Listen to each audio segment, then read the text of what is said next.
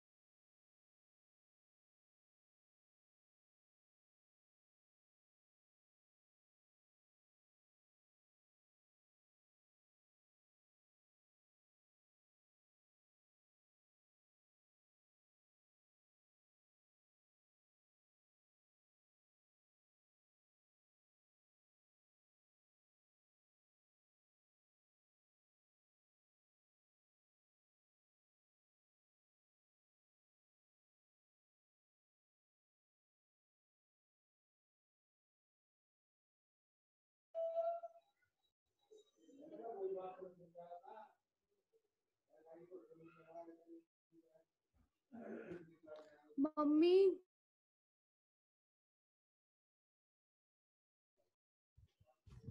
Mummy. ये नहाने चली गई? ये नहाने चली गई। समझ नहीं आ रहा? अभी कोई ऑन ही नहीं आ रहा। तुम करो तो सही हो ना। हमने मैंने तो तो डाल दिया? हाँ। तो मैं मतलब कनेक्ट तो हो गई हूँ। अभी एक और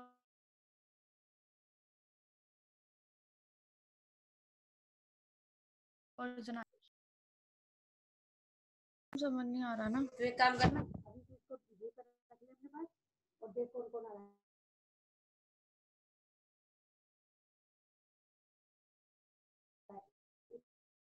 इससे कोई-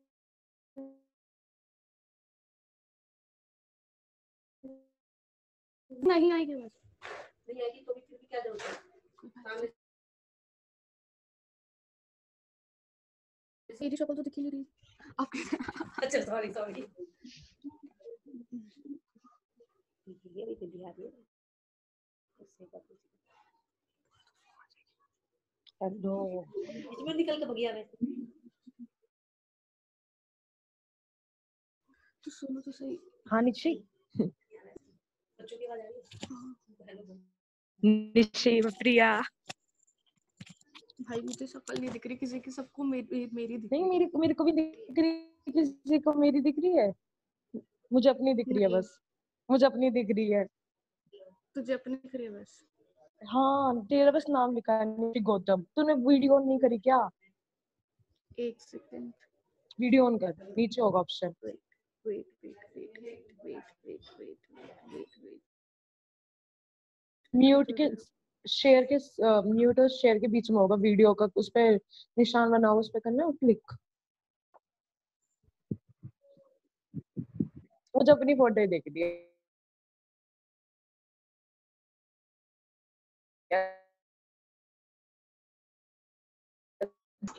हो गया शुरू तू भी ज्वाइन कर तो दस चालीस हुए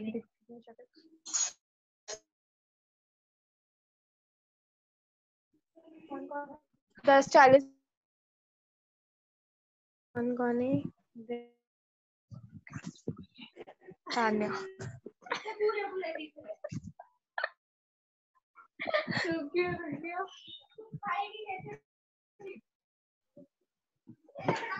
तब मैं तो ज्वाइन करेगा मेरी थोड़ी हाँ जी। अभी बाद में खाऊँगी जब हमें ब्रेक मिलेगा। तू साथ साथ खा सकती ये मुझे सब दिख रहा है। मुझे अब सानिया वानिया सब दिख रही है। मेरे को बस तो ही दिख रही है बस। मुझे अब सब दिख रहा है। क्लिक का पता क्या कर? तो क्या हो गया यार? अरे स्क्रीन पे क्लिक कर। कैसे दिखूँगी? स्क्रीन पे कृतज्ञ भी दिख रहा है तो। मैं दिख रही हूँ? सुन। नहीं दिख रही यार स्क्रीन पे क्लिक करेगी ना जब आई कशिश भी सानिया भी देखा भाई अ, रुक मैम कहाँ है? कशिश दिख रही है।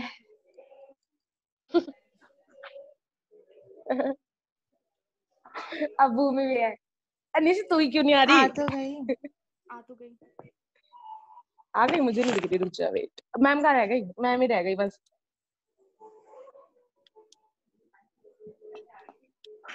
सबकी शक्ल कैसे दिखे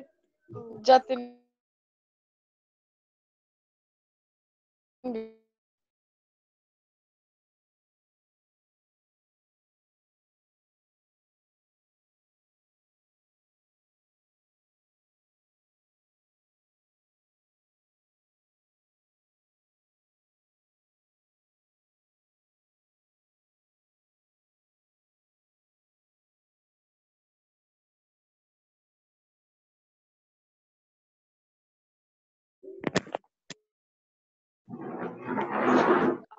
आ रही तो एक दूसरे समझ नहीं आ रहा। और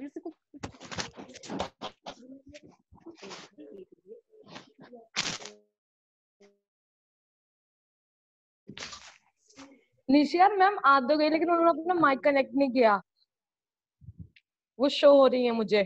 कहा है? और तो तुझे शो हो रही कनेक्ट नहीं है। पता नहीं। मैम भी हो रही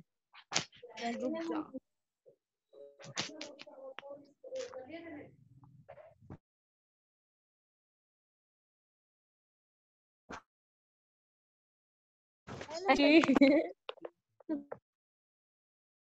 अब मुझे बस तू दिख रही है। हाँ। यार तुम दोनों नहीं दिख रहे कृतज्ञ निशि क्या बात है यार दिमाग हाँ, खराब मैं कर तो रहे हो दिख रही है। दिख अच्छा अब भूमि भी दिख रही है।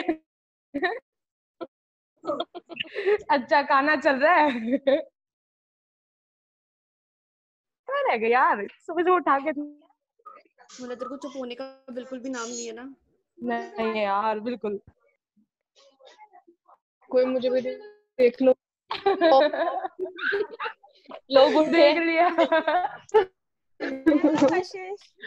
हेलो। उड़ गई आप? यार नींद आ रही है। हाँ लग ही रहा है।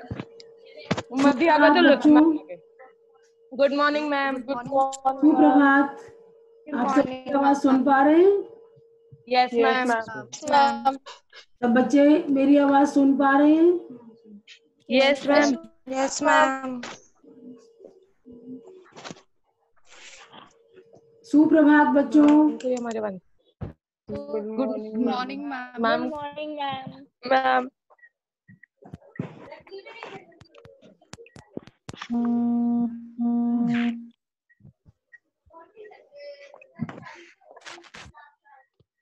ma'am कहाँ रह गई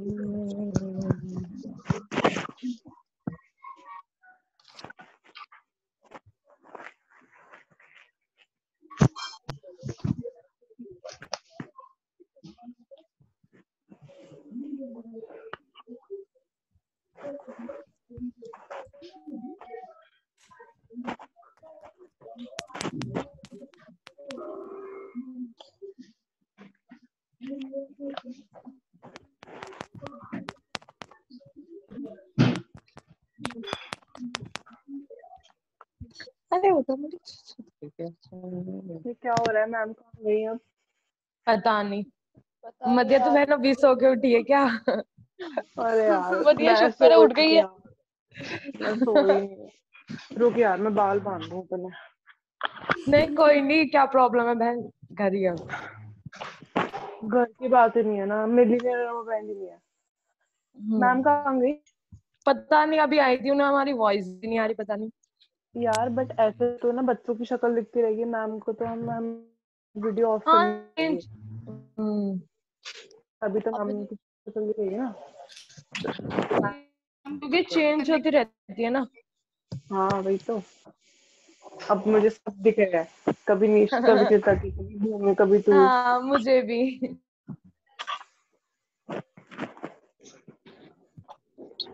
सब चेंज हो हो के दिख रहे हैं। हाँ बाबा चेंज हो रहा है। हाय गया। कृतज्ञता ऐसा लग रहा है जैसे अभी सो गए। सो अब इसकी नींद ही पूरी नहीं हुई। बढ़िया को तो चांटे पड़े। मेरा फेस भी लग रहा मुझे स्वेल स्वेल हो रहा है शायद। ऐसे ही हाँ बहुत ज़्यादा। हेलो कुशिका। हेलो। युवांशी बेटा। ओ खुशिका हेलो सुप्रभात बच्चों गुड मॉर्निंग सुप्रभात कैसे आप सब बढ़िया आप लोगों को हमारी आवाज़ सुन रही है? यस मैम मैम आप सभी लोग मेरी आवाज़ सुन पा रहे हैं? Yes ma'am yes ma'am yes ma'am आप सब कैसे हैं? मैम बढ़िया। मैम आप बताओ। ठीक है। ज़िंदा है मैम।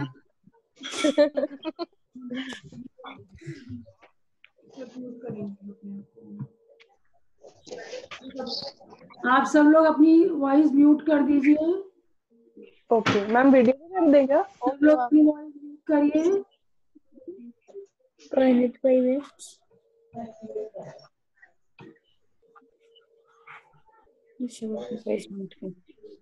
सब लोगों का बहुत बहुत स्वागत है नई क्लास में और पहली ऑनलाइन क्लास में आपका स्वागत है। आप लोग बहुत दिनों से लॉकडाउन लॉकडाउन में बैठे हैं घरों में। कैसा लग रहा है आप लोगों को? ये मैं अभी पूछती हूँ आपसे। मैंने कुछ आपके साथ व्हाट्सएप के ऊपर हिंदी पाठशाला ग्रुप में कुछ बातें शेयर की थी। रिलेटेड आप लोगों ने उसको पढ़ा होगा और उन्हीं बातों को एक्सप्लेन करते हुए हम अपनी क्लास शुरू करेंगे। दो तीन पॉइंट्स हैं, मैंने आपको मैसेज दिया था कि पेन और पेपर लेकर के बैठिएगा। तो दो तीन पॉइंट्स जो मैं ऑलरेडी आपको व्हाट्सएप पर शेयर कर चुकी हूँ, हिंदी पाठशाला ग्रुप में, उन्हीं को एक्सप्लेन करके फिर हम अपना क्लास शुरू करेंगे। और मुझे उम्मीद है कि आप सब अपने घर पे, अपने परिवार के साथ सुरक्षित हैं। और मोदी जी की बात आप आज भी आपने सुनी होगी उन्होंने जो रिक्वेस्ट किए हैं, हमें उसी को फॉलो करना है और घर पर रह करके अपने समय का सदुपयोग भी करना है ताकि हमारी पढ़ाई का नुकसान ना हो और घर पर बैठ करके हम जितना अच्छे से अच्छा संभव हो सकता है अपना काम करते रहेंगे। ठीक है? तो मुझे आज बड़ी खुशी है कि आप लोगों ने इतना कहना माना और आप सब लोग टाइम पर आकर के ऑनलाइन क्लास अटेंड करने के लिए तैयार हैं। बहुत अच्छा लग रहा है आप लोगों को देख करके मुझे।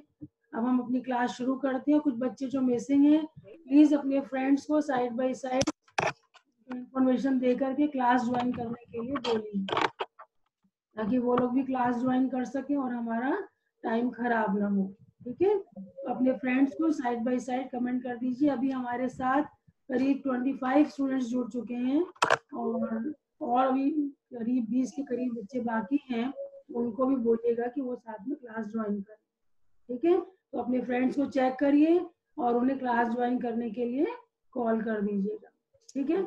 इन द मीन टाइम मैं आपको बताने जा रही हूँ कि मैंने दो चीज़ें आपको इसमें एक तो था डायरी लेखन और एक था परियोजना कार्य ठीक है? आप लोगों के पेपर के अंदर सृजनात्मक लेखन एक अनिवार्य हिस्सा है। जिसके अंदर आपके कम से कम भी 20 नंबर बन जाते हैं, ठीक है?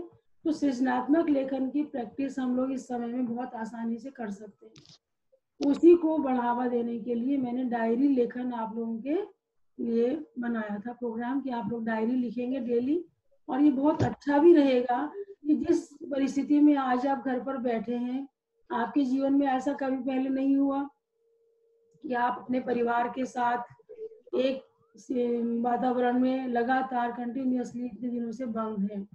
आपको बाहर नहीं जाना, कोई एक्टिविटी बाहर के लिए नहीं करनी है। और इस चीज़ के लिए आप बाउंड हैं। तो आप बच्चों को तो ये बहुत बुरा लग रहा होगा, लेकिन परिस्थिति की ये मांग है जिसे हमें स्वीकार करके चलना है। तो कुछ बच्चों ने मुझसे पूछा कि डायरी में क्या लिखना है? मैं आपको ये बताना चाहती हूँ कि डायरी में लिखने के लिए आपके पास इस समय इतनी सारी बातें हैं। आप इसमें प्रॉब्लम को डाल सकते हैं। ही नहीं, पूरे विश्व में इस समस्या से हम लोग जूझ रहे हैं, इंसान। तो आप उन सब इंसानों की समस्या को आपका अपने घर पर रहने का अनुभव है, उस अनुभव को आप डाल सकते हैं। वो लोग जो कोरोना की समस्या से पीड़ित हैं या क्वारंटाइन में हैं उन लोगों की मनस्थिति कैसी है आप उसको इसमें डाल सकते हैं? आप स्वयं कैसा अनुभव कर रहे हैं? आपके पड़ोस में रिश्तेदार को इस समस्या से उसका क्या एक्सपीरियंस है उसे आप अपनी डायरी में इंक्लूड कर सकते हैं ठीक है? अगर आप डेली एक पेज अपनी डायरी में लिखते हैं तो आप प्रतिदिन के जो खास अनुभव है उनको उसमें डालिए आपके परिवार के अन्य सदस्य कैसा अनुभव कर रहे हैं? उनकी क्या भावनाएँ हैं? जो लोग इस समस्या से जूझ रहे हैं उन पर क्या बीत रही है? और वो वॉरियर्स जो ऐसे कठिन समय में समाज को संभालने के लिए संभालने के लिए आगे आ रहे हैं अपनी जान को जोखिम में डालकर उनके क्या एक्सपीरियंसेस हैं? उनकी क्या विचारधाराएँ हैं? उसको आपको कॉपी करना चाहिए उसको आपको डायरी में पेन डाउन करने की कोशिश करनी अब ऐसे लोग जिनके संग समाज के कुछ वर्ग या कुछ लोग दुर्व्यवहार कर रहे हैं, उनकी मानसिकता पर भी प्रकाश डालना है और ऐसा न करने के लिए आपको भी कोशिश करनी है कि ऐसा मैसेज कन्वे करें। कुछ लोग यूट्यूब बनाकर, कुछ लोग सॉन्ग्स लिखकर डाल रहे हैं ताकि समाज के ऐसे वर्ग को प्रेरणा मिले और वो सही रास्ते पर चले। तो आज हमें सबको एकजुट होकर के इस समस्या का समाधान करना है। और घर में रह करके इस बीमारी से छुटकारा पाने के लिए समाज को बचाने के लिए प्रयास करना और साथ ही साथ अपना समय भी सदुपयोग करना। तो आप लोग इस बात का ध्यान रखते हुए डायरी लेकर का काम आज से शुरू करेंगे और जब भी स्कूल खुलेंगे, आपकी वो डायरी मेरे पास चेकिंग के लिए आएगी और उसके नंबर जो है, वो आपके परियोजना कार्य में जोड़ दिए जाएँगे। तो ये काम आपका व्यर्थ नहीं जाएगा, ये वैसे भी ज़िंदगी भर एक आपके पास चीज़ बन जाएगी कि आपने इस टफ टाइम को, इस कठिन समय को कैसे बिताया? परिवार के संग कैसा अनुभव किया? मम्मी पापा जो आपको इतना समय नहीं दे पाते थे, अब आप उनके साथ रह रहे हैं, उनकी फीलिंग्स को समझ पा रहे हैं। वो आपको कैसे पसंद करते हैं, कैसे प्यार करते हैं? आप अपने एक्सप्रेशन अपने पेरेंट्स के सामने रख सकते हैं, अपने भाई बहनों के साथ अपने डायरी लेखन के बारे में अभी भी कुछ तो आप पूछ सकते हैं। अब दूसरा परियोजना का आप सभी को मालूम है कि आपके प्रश्न पत्र का 20 नंबर अनिवार्य हिस्सा है परियोजना ये 20 नंबर बहुत ही महत्व रखते हैं आपके नंबर परसेंटेज को परसेंटेज को बढ़ाने के मैं चाहती हूँ कि समय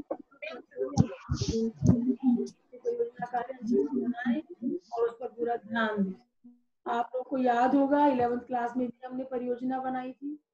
इलेवेंथ क्लास में जो इंस्ट्रक्शंस आपको परियोजना बनाने के लिए दिए गए थे आपको उन्हीं को फॉलो करना है। उसी के आधार पर आपको परियोजना का विषय जो है, वो मैं आपको व्हाट्सएप पर के बाद शेयर करूँगी। आप अपना टॉपिक नोट करिएगा और यूट्यूब से वेबसाइट खोल करके अब जैसे आपने इलेवेंथ क्लास में सामग्री, सहायक सामग्री निकाली थी नेट से वैसे ही अभी भी आप नेट से सामग्री निकालेंगे अपने विषय के अनुसार। उसमें जिन मुख्य बिंदुओं पर आपको ध्यान देना है, वो मैं आपके सामने बोल रही हूँ। आप उन्हें पेन डाउन करते जाइए। सबसे पहले तो आएगा आपका लेखक का परिचय। उसका जीवन परिचय आ जाएगा। जीवन परिचय में उसकी शिक्षा, दीक्षा के बारे में लिखेंगे, उसके परिवार के बारे में लिखेंगे। ठीक है? ये जानकारी तो आपको जो कि जो नेट पर मिल जाएगी। उसके अतिरिक्त उसका साहित्यिक परिचय आएगा। साहित्यिक परिचय में लेखक ने कौन कौन सी कृतियों की, कृतियाँ लिखी हैं? उसे कौन कौन से पुरस्कार मिले हैं? उसकी साहित्यिक विशेषताएँ क्या रही हैं? किन विषयों को लेखक ने अपनी से, लेखनी से उतारा है अपनी रचनाओं के अंदर? उसे आपको लिखना होगा। ठीक है? अन्य रचनाकारों के उस लेखक के विषय में क्या विचार है? या किन्हीं महत्वपूर्ण बिंदुओं पर उस लेखक की क्या विचारधारा है? उसे आप अलग करके लिखेंगे इस परियोजना के अंतर्गत। ठीक है? सबसे महत्वपूर्ण बात यह है कि आपको नेट पर कुछ ऐसे चित्र भी मिल जाएँगे जो लेखक के जीवन से संबंधित होंगे, या उसे पुरस्कार मिले हैं, उसे संबंधित होंगे। या अन्य रचनाकारों ने जो विचारधाराएँ प्रकट की हैं, उनके बारे में, वो आप निकाल करके अपनी परियोजना में डाल सकते हैं। ठीक है? परियोजना का क्रम वही रहेगा। अंत में संदर्भ तैयारी हो जाएगी और हम देखेंगे जैसे ही ये कोरोना का संकट हटता है, स्कूल खुलता है तो आपके कम से कम भी पचास नंबर के जो पेपर की तैयारी है, वो बड़े आराम से हम इस ऑनलाइन प्रोसीजर से कर सकते हैं। ठीक है?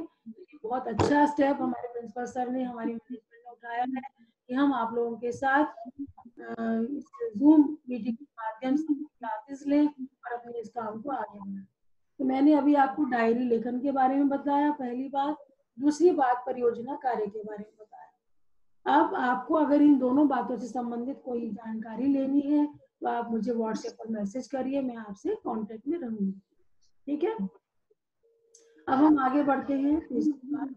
मैंने व्हाट्सएप ग्रुप पर आपके संग आपकी अंतराल भाग दो किताब शेयर की है। उसको मैंने ऑनलाइन निकाल करके आपको भेज दिया है ताकि आपको परेशानी ना हो। आपकी सारी एनसीईआरटी की बुक्स हैं। और सारी ही बुक्स आपकी नेट पर अवेलेबल है। ठीक है? एक बुक जो सबसे आसानी से हम इस पर कर सकते हैं, जिसमें आपको ज़्यादा समस्या नहीं उठानी पड़ेगी, वो है अंतराल भाग दो। पंद्रह नंबर की ये बुक है, और इस बुक से अनिवार्य रूप से हर प्रश्न, हर पाठ से प्रश्न अवश्य आता है। तो मैं चाहती हूँ कि हम पहले आरंभ करें, ताकि आप लोग अच्छे से अच्छे नंबर ले सकें और अपने आधे हिस्से की तैयारी, आधे प्रश्न पत्र की तैयारी आप इस क्वारंटाइन डेज़ में आराम से कर सकें ठीक है? तो मैं, मैंने अंतराल की है ठीक है? मैंने उसका टेक्स्ट आपको भेजा था और आपसे ये अनुरोध किया था कि आप क्लास के लिए जब आए तो आप उसे पढ़ करके आए। मैं उम्मीद करती हूँ कि आप लोगों ने थोड़ा उसे पढ़ा होगा उसी पाठ से संबंधित कुछ जानकारी मैं आपके साथ शेयर करने जा रही हूँ, ताकि आप उसका थोड़ा एक भूमिका, अपनी पृष्ठभूमि अपने दिमाग में बना सकें। और उसके बाद अगली क्लास मैंने टाइम टेबल भी आपके संग शेयर किया है। हमारी क्लास के तीन डेज़ हैं मंडे वेडनेसडे फ्राइडे आज इस चालीस मिनट की क्लास के बाद हमारी नेक्स्ट क्लास होगी मंडे को दस बजे, ठीक है? और मैं ये चाहूँगी कि सभी बच्चे ऑनलाइन नौ पचपन पर अवेलेबल हो जाए ताकि हमारी क्लास समय से शुरू हो जाए, क्योंकि तो चालीस मिनट को ये क्लास खत्म हमारी मीटिंग की ड्यूरेशन तो अब जितना समय हमारे पास शेष है, उतने समय में मैं आपको सूरदास की झोपड़ी पाठ के बारे में कुछ बातें बता रही हूँ, जिन्हें आप पाठ को पढ़ते समय बना बच्चों ने अच्छी बात है। जिन्होंने नहीं पढ़ा है वो उस पाठ को खोलिए व्हाट्सएप पर मैंने लिंक भेजा हुआ है, उसे ध्यान से पढ़ेंगे। और पढ़ते समय किन मुख्य बिंदुओं पर आपको ध्यान देना है, उन बिंदुओं को मैं आपके सामने रख रही हूँ, आपके पास पेन है, आप नोट भी कर कर सकते हैं, ताकि आपको ध्यान रहे कि मैंने किन चीज़ों पर ध्यान देने के लिए आपसे कहा है। तो हम शुरू करते हैं। प्रेमचंद जी के द्वारा लिखा हुआ पाठ सूरदास की झोंपड़ी। पहले तो मैं आपको ये बता यह पाठ रंगभूमि उपन्यास है प्रेमचंद जी का, जिसमें से लिया गया एक कथांश ठीक है? उस पा, उस रंगभूमि उपन्यास के कुछ अंश को आपकी पुस्तक में संकलित किया गया, विशेष उद्देश्य से। और आप जब पाठ को पढ़ेंगे तो आप देखेंगे कि आज की वर्तमान परिस्थिति से भी ये पाठ बहुत आसानी से जुड़ पा रहा है। तो आप जब इसको पढ़ेंगे तो आज ये क्वारंटाइन की जो समस्या से हम जूझ रहे हैं उन परिस्थितियों में भी हमें ये पाठ बहुत ज़्यादा प्रेरणा देने वाला पाठ है। तो हमारे हिंदी के विषय की सबसे बड़ी खासियत ये है कि हम जो कुछ भी पढ़ते हैं, वो उस जमाने के साथ तो जोड़ता ही है हमें। उसके साथ साथ वर्तमान से भी जोड़ने का प्रयास करना। तो जो आज हमारी परिस्थितियाँ हैं, पूरे विश्व की परिस्थितियाँ, भारत की परिस्थितियाँ, हमारे परिवार की स्थितियाँ, उन सब स्थितियों में हम इस पाठ से मोटिवेशन ले सकते हैं, प्रेरणा ले सकते हैं। ठीक है? तो आप इस बात को ध्यान से सुनेंगे कि ये कहानी जो है, एक अंधे भिखारी की कहानी जिसका नाम है सूरदास। उसी के नाम पर इस पाठ का नाम सूरदास की झोंपड़ी रखा गया है। सूरदास यहाँ पर पात्र है। सूरदास कवि नहीं है जिस कवि के बारे में भक्ति काल के जिस कवि के बारे में हम पढ़ते आए हैं। यहाँ पर यह सूरदास एक अंधा भिखारी है, जो एक गाँव में रहता है और अंधेपन के कारण, लेकिन जिस जमाने में ये पाठ लिखा गया, उस समय दिव्यांग लोगों के लिए, विकलांग लोगों के लिए ऐसी विशेष सुविधाएँ नहीं थी जैसी आज के समाज में उपलब्ध है। उस जमाने में अंधे लोगों को, विकलांग लोगों को या दिव्यांग जनों को अनेकों समस्याओं का सामना करना पड़ता। पढ़ने लिखने की सुविधाएँ या रोज़गार की सुविधाएँ उन्हें उपलब्ध नहीं होती थी। तो ऐसे विकलांग लोगों की समस्या को या दिव्यांग जनों की समस्या को इस पाठ के माध्यम से हमारे सामने लाने का प्रयास किया हम लोगों का, समाज के सशक्त, समर्थ लोगों का, ऐसे दिव्यांगों के प्रति क्या कर्तव्य है? एक तरफ़ तो लेखक हमें ये प्रेरणा देना चाहता है। दूसरी तरफ़, किसी भी वजह से दिव्यांगता की स्थिति को झेलने वाले जो इंसान हैं, जो लोग हैं, उन लोगों को प्रेरणा देना चाहता है लेखक सूरदास के चरित्र के माध्यम से। सूरदास भले ही विकलांग है, लेकिन वो हिम्मत नहीं हारता। वो अपने प्रयासों में कमी नहीं आने देता।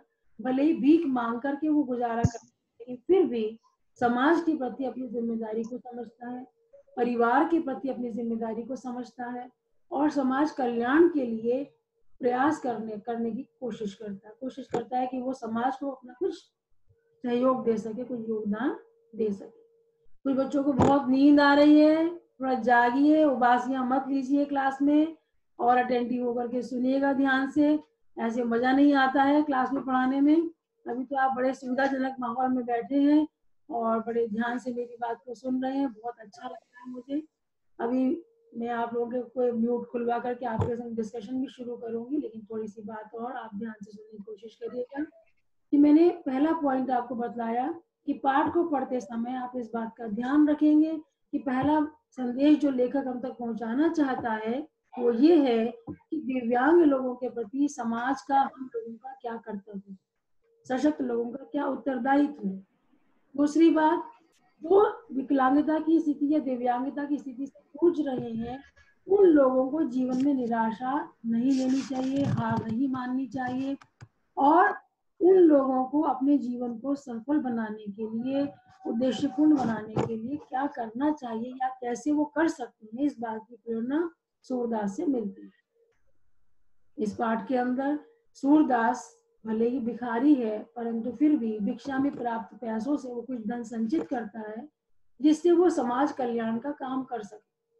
तो एक दिव्यांग व्यक्ति जब समाज के कल्याण की बात सोच सकता है तो हम जैसे सशक्त और समर्थ लोग समाज के प्रति अपने उत्तरदायित्व को क्यों नहीं समझ सकते? क्यों नहीं समझ पा रहे हैं?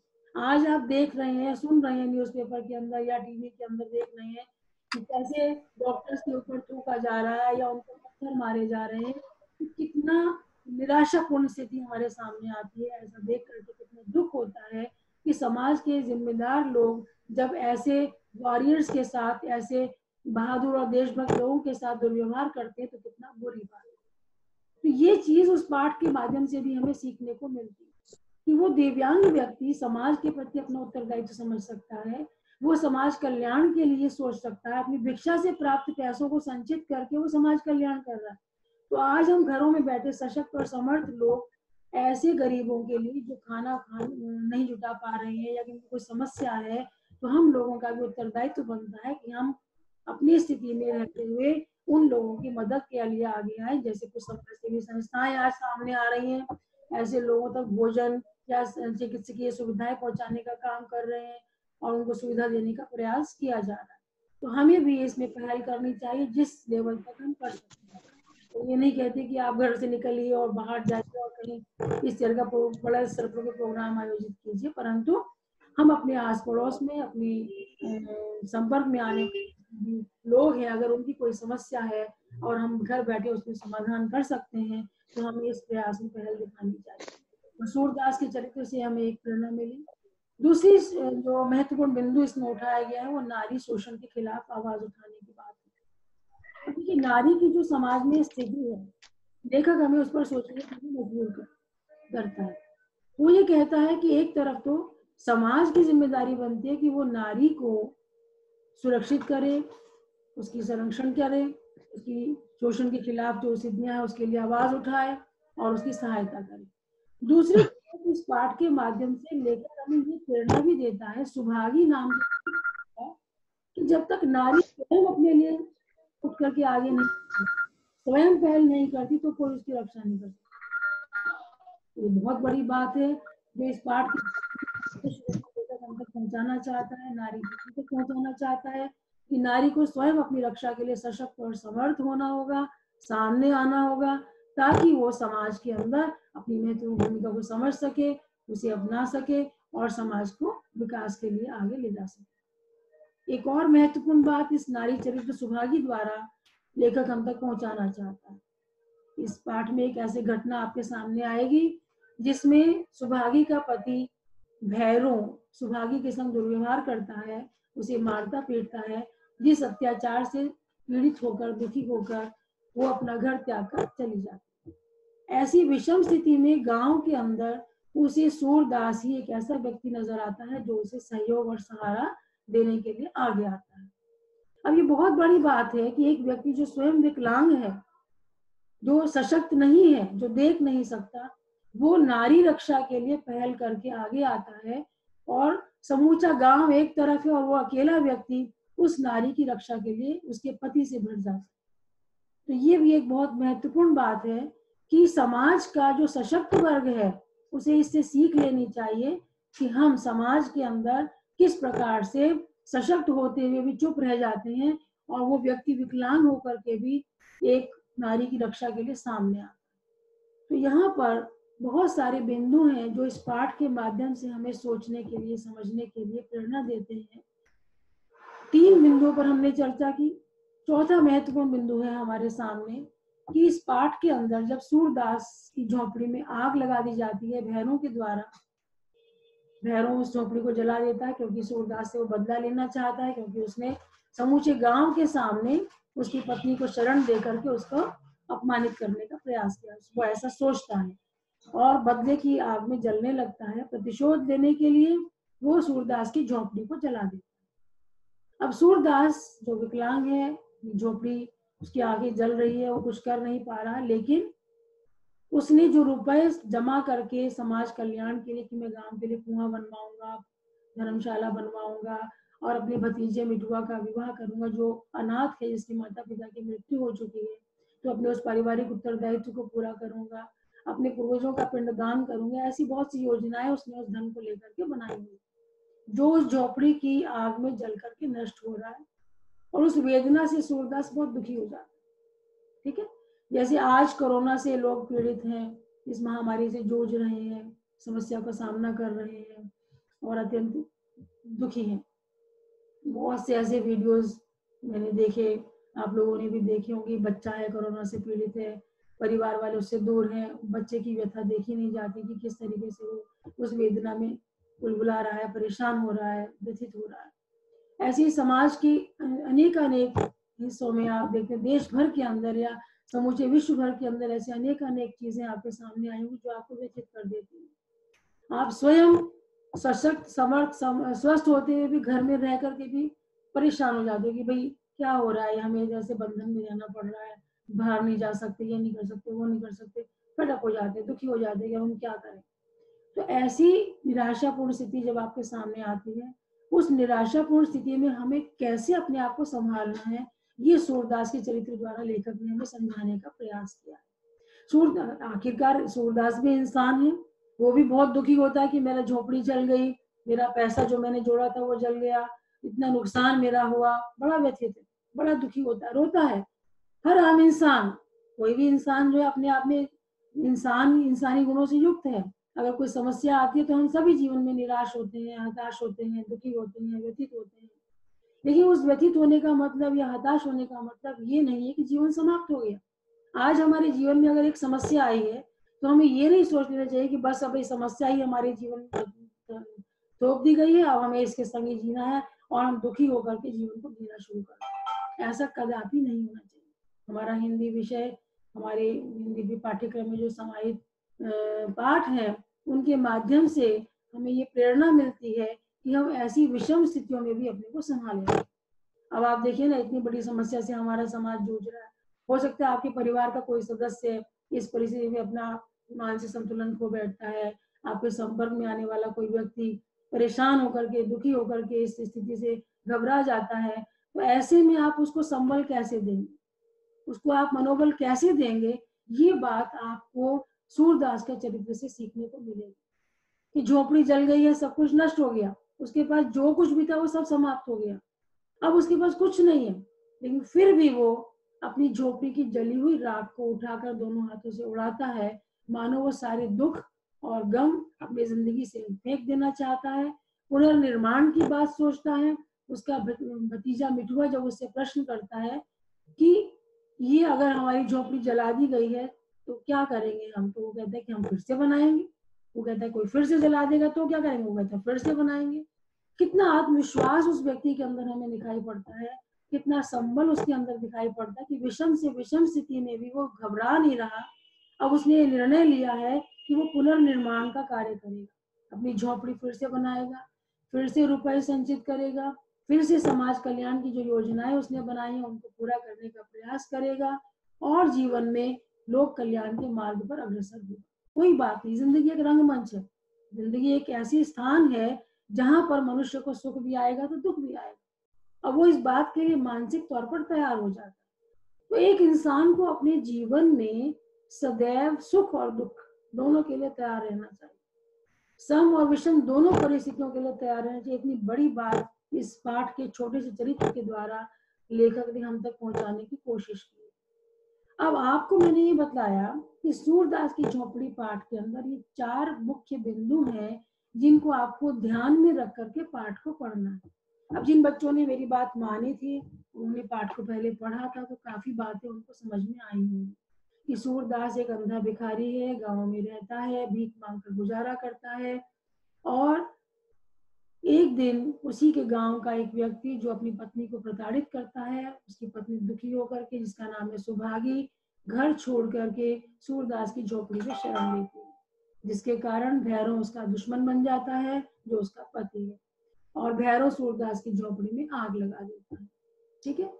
लेकिन सूरदास इस परिस्थिति से भी निराश नहीं होता, अपना हौसला रखता है, संबल रखता है और शीघ्र ही उस विषम स्थिति से उबर करके वो बाहर आता है और ये प्रेरणा देता हुआ दिखाई पड़ता है कि ज़िंदगी एक रंगमंच है एक खेल है। जिस तरह से खेल में हार और जीत होती रहती है, ऐसे ही जीवन के अंदर भी सुख और दुख आते जाते रहते हैं। हमें उनसे परेशान नहीं होना है, हताश नहीं होना है, दुखी नहीं होना। तो बच्चों, हमें भी इस परिस्थिति में हताश नहीं होना है। पूरे जोश के साथ, पूरे उत्साह के साथ हमें अपनी पढ़ाई जारी रखनी है। मैंने आप लोगों को ये कहा था कि पेन और कागज़ लेकर के बैठना है, लेकिन मुझे जितने बच्चे नज़र आ रहे हैं, मुझे कोई लिखता हुआ दिखाई नहीं दिया। कोई नोट्स ले रहा है या कुछ पॉइंट्स नोट डाउन कर रहा है, ऐसा दिखाई नहीं दिया। तो प्लीज़ मेरा आपसे विनम्र निवेदन है कि अपना पेन और पेपर साथ में लेकर के बैठे। कुछ बातें जो आपको नोट करने लायक लगती हैं कुछ महत्वपूर्ण बिंदु पूजा ने शायद, प्रिया ने शायद लिया हुआ है पेन पेपर हाथ में। प्रिया दिखा रही है मुझे कि शायद मैंने लिखा है कुछ। और जिन बच्चों ने लिखा है तो जरा अपनी कॉपी और पेपर ऊपर करके दिखाइए मुझे। कि हाँ हम लिख रहे हैं। Very good very good Vinod Kumar के नाम से कौन है ये? विनोद कुमार नाम मेरे पास लिखा हुआ आ रहा है। कौन है ये? मुझे नाम समझ में नहीं आ रहा। मैम, मैं वरुणेश वरुणेश। हाँ वरुणेश। पहचान में नहीं आ रहा है, काफ़ी शक्ल बदल गई वरुणेश की दिनों में। तो बहुत अच्छा लगा मुझे, कुछ बच्चों ने बहुत सभी बच्चों ने बहुत ध्यान से सुना है, और कुछ बच्चों ने करने की पॉजिटिव बात है क्योंकि हमारा सिक्सटी परसेंट पेपर जो है, वो हम इस तरीके से बड़ी आसानी से कवर कर सकते हैं। समस्या हमारी सिर्फ़ पोइट्री में आई है मुझको भी सॉल्व करने में कोई दिक्कत नहीं कि अगर आप इसी तरीके से मुझे कॉपरेट करते रहेंगे तो हम सब मिलकर के बहुत आसानी से, बहुत सुविधा के साथ इस काम को कर पाएँगे। ठीक है? तो मैंने आप लोगों के सामने जो आज बातें की हैं, मैं एक बार फिर से उनको पॉइंट्स के रूप में दोहरा रही हूँ ताकि आपको ध्यान में रहे और आप अपना मेरी बात सुनने के बाद नोट खोल करके कोई discussion one one by one करना चाहें तो कर सकते हैं और जितना भी समय हमारे पास शेष होगा, उसको हम इस काम के लिए यूटिलाइज करेंगे। उसके बाद हिंदी पाठशाला ग्रुप पर मैं अवेलेबल हूँ। आपके पास चौबीस घंटे, आपको भी जो भी क्वेरी है, आप उसे पूछ सकते हैं, क्योंकि हमारी मीटिंग का टाइम खत्म होने जा रहा है। तो जल्दी से आपके संग ये पॉइंट्स रिपीट कर रही हूँ। पहला मैंने आपको डायरी लेकर के लिए कहा, इस काम को आप आज से शुरू करेंगे। परियोजना के विषय में आपको ऑनलाइन भेज दूँगी। आप उन पर भी काम करना शुरू करेंगे, ठीक है? और उसके अलावा सूरदास की झोपड़ी पाठ पढ़ करके रखिएगा। मंडे हमारी दस, नौ पचपन पर हम लोग फिर मिलते हैं। मंडे सुबह नौ पचपन पर। और आप इस पाठ को पढ़ करके रखेंगे। मैंने ऑनलाइन सबके पास ये सामग्री भेजी है। आप तो और इसके अलावा फिर हम मिलेंगे तो आपके पाठ को जो समस्याएँ हैं, उसको मैं सॉल्व कर दूँगी। जहाँ पर आपको पाठ को पढ़ने में समस्या आई है तो उसे सॉल्व करने के बाद फिर हम इसकी महत्वपूर्ण चर्चा करेंगे। और अतिरिक्त प्रश्नों पर चर्चा करेंगे। तो इस तरीके से हमारा ये चैप्टर कवर हो जाएगा। ठीक है? मेरा आपसे विनम्र निवेदन है, कृपया ध्यान से इस पाठ को पढ़ें समझें और अपने जो डाउट्स हैं वो लेकर के मंडे क्लास में मेरे पास और उसके अलावा व्हाट्सएप पर हिंदी पाठशाला ग्रुप पर आप मेरे पास रह सकते हैं। परियोजना कार्य और डायरी के कार्य को टालें ना समय को सदुपयोग में लाएँ, और इस कार्य को आगे बढ़ाएँ। ये मेरी आपसे रिक्वेस्ट है। आप सबके पेरेंट्स के लिए बहुत बहुत धन्यवाद कि आप लोगों ने भी कोऑपरेट किया और बच्चों को प्रेरित किया इस क्लास में आने के लिए और इसी प्रकार के सहयोग की मैं अभिभावकों से अपेक्षा रखती हूँ और ये चाहती हूँ कि अभिभावकों का सहयोग ऐसे ही बना रहे और आप सभी अभिभावक और सभी हमारे बच्चे जो है, सुरक्षित रहे और समाज के लिए, देश के लिए इस प्रकार सहयोग प्रदान करते हैं आप सबको मैं बहुत बहुत आभार व्यक्त करती हूँ। अब आप सब बच्चे म्यूट खोल सकते हैं और कुछ बात अगर आपको शेयर करना चाहते हैं, एक दो मिनट जो बचे हैं, हाथ खड़े करिए और उसको मैं फिर लाती हूँ। रेज योर हैंड्स अपने हाथ खड़े करिए और मुझे बताइए आप क्या पूछना चाहते हैं। हाँ जी, कोई कुछ पूछना चाहता है? कशिश ने मुझे बहुत हेल्प की है बनाने में। कशिश को स्पेशल थैंक्स में कहना चाहूँगी। कोई बच्चा मेरे संपर्क में नहीं आ पा रहा था। अब जो बच्चे आज नहीं आ पाए हैं क्लास में, आज हम लोग ट्वेंटी सेवन लोग आ गए हैं। तो सत्ताईस लोगों का हमारा ग्रुप बन गया है, अभी भी पंद्रह के करीब बाकी हैं। तो आप प्लीज़ करिएगा कि आप भी क्लास में आए और क्लास ज्वाइन करें, इसमें फ़ायदा गौतम बहुत थक गए हैं क्या? जतिन गौतम थक रहे हैं। नहीं मैम नहीं थका नहीं नहीं आप बहुत उबासी लेते रहे हैं। वो आज जल्दी उठ गया जल्दी उठ गया। अपनी आदत बना लीजिएगा बहुत जल्दी उठेंगे हाँ। अब तो जल्दी उठना पड़ेगा। और बाकी लोगों की समस्या है कुछ पूछना मैम पवार कुछ पूछना चाह रहा है? कौन? अनुभव पवार। मैं कुछ नहीं पूछ रहा। मैम चैप्टर आप रीड करके पढ़ाओगे? क्या बेटा?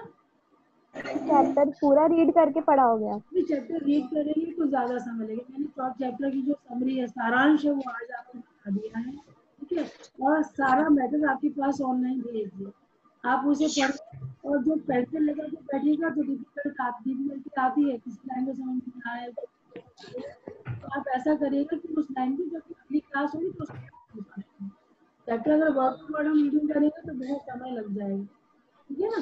जो कोई दिक्कत नहीं है, लेकिन उसमें आपको समझ बहुत ज़्यादा है। एक क्लास में कम से कम भी एक चैप्टर आपका अगर हमें टू वर्ड अगर हम ऐसा करते हैं तो जैसे कि आपने रीडिंग कर लिया, उसका आप पोर्शन कर लिया, उसको डिफिकल्टी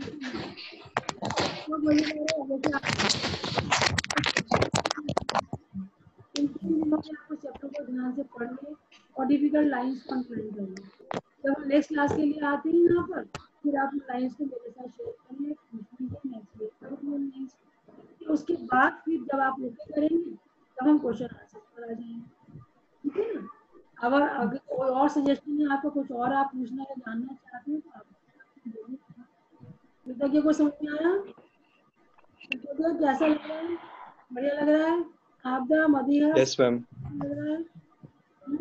मुझे बहुत अच्छा लगा इस पूरे के बाद आप सब लोगों को देखना आप लोगों से बातचीत करने का जो मौका मिलता है तो हम यही कहना चाहेंगे इस ऑनलाइन सिस्टम क्योंकि इतनी बड़ी हमारे पास देख पा रहे हैं देख पा रहे हैं। काम को आगे बढ़ा पा रहे हैं। ठीक है? तो इस पर भी आप अपनी डायरी के अंदर लिख सकते हैं। मिला है इस मिली है इंसान की दूर होते साथ हैं आप सब फ्रेंड्स एक दूसरे को देख सकते हैं डिस्कशन कर सकते हैं। अपनी जो पढ़ाई है उसको जारी मैम बोलिए बेटा कौन बोल रहा है निधि मैम मनीष हाँ अनीश बोलिए बेटा। निधि मैम का मैसेज आ रहा है वो क्लास ज्वाइन करने के लिए तो आप क्लास कर सकते हैं। हाँ बेटा बस मेरा टाइम एक मिनट ऊपर हो गया है। ओके ऑल ऑफ़ यू ठीक है? बेस्ट ऑफ़ लक और हम फिर मिलते हैं सोमवार को। दस नौ पचपन पर आप लोग सब तैयार रहिएगा। जो आज अवेलेबल नहीं है उनको भी क्लास ज्वाइन करने के लिए बोलना और जितना काम मैंने बोला उसे वर्कआउट करना शुरू कर दें thanks to all of you and your parents also convey my best wishes for okay Thank you, ma'am. Bye thank you ma'am. Good luck बेटा Thank you, ma'am. Thank you ma'am